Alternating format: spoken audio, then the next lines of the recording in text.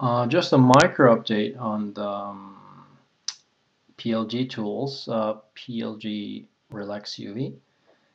And uh, if you want to relax it, uh, you select the points you want to relax, but then invert it. And then you run to relax. So that's the way to go about it. And uh, relax UV, whatever setting. Okay. And there you go.